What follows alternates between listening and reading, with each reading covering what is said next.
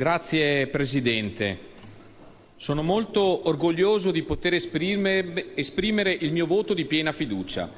Sì, fiducia, quel sentimento di tranquillità e sicurezza che hanno i figli verso il babbo e la mamma, gli studenti verso gli insegnanti, gli atleti verso l'allenatore, 6 milioni di elettori verso la Lega e noi verso di voi. Fiducia nel contratto di governo, che contiene diversi e qualificati punti di programma, che io voglio soffermarmi su alcuni di essi. Fiducia in politica estera, giusto essere parte integrante dell'Alleanza Atlantica avendo rapporto preferenziale con gli Stati Uniti d'America. Proprio recentemente ho partecipato presso il cimitero americano di Firenze ad un toccante commemorazione in ricordo di chi di tanti giovani americani che si sono immolati in una terra lontana per restituirci il bene fondamentale della libertà. Quando vedi migliaia di croci bianchi su una distesa verde e pensi a quali sogni avrebbero realizzato se non fossero caduti per noi, devi soltanto dire grazie. Grazie America.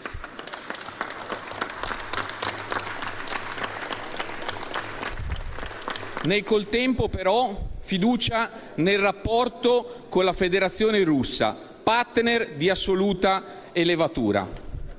Mettere l'embargo ad uno Stato che riconosce il referendum del 2014, dove il 97 del popolo di Crimea ha deciso di far parte della Federazione russa con un grosso danno alle imprese italiane, non è comprensibile.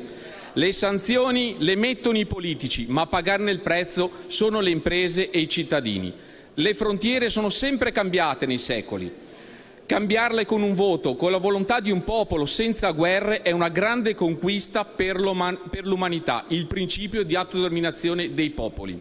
Europa sì, ma diversa, dove il ruolo del Parlamento sia rafforzato. Fiducia in tema di politica fiscale per disegnare un nuovo fisco serio ed equo, passando da un'immediata pace fiscale per arrivare ad un'aliquota unica, dove si premia il merito, la voglia di produrre, dove la, rassegnazione del popolo delle partite IVE, che oggi si sente come un criceto su una ruota che gira senza mai potersi fermare per pagare spese e tassi, si trasformi in un sogno di poter realizzare i propri desideri pace fiscale per evitare altri suicidi di imprenditori che, distrutti dal dolore di perdere l'azienda in cui hanno lottato, preferiscono erroneamente togliersi la vita per non vedersi sottratto tutto. E a loro va il mio pensiero.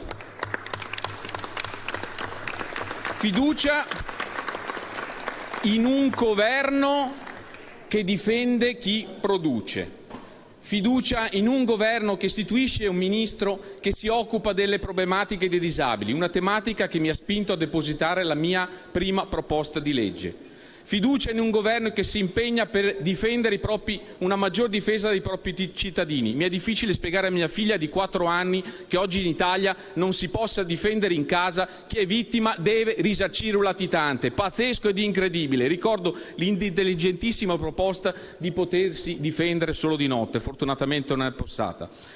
Fiducia in un governo che valorizza le forze dell'ordine nell'adempimento del proprio lavoro. Non è semplice, quando si viene aggrediti da violenti, in pochi secondi stabilire quale sia il grado di reazione legittima. Facile stabilirlo a mente fredda, senza emozioni. Un pensiero a tutte le forze dell'ordine.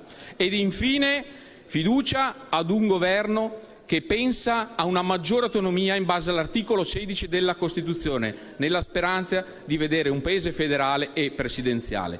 Fiducia, e termino, in un governo che pensa prima di tutto al popolo italiano.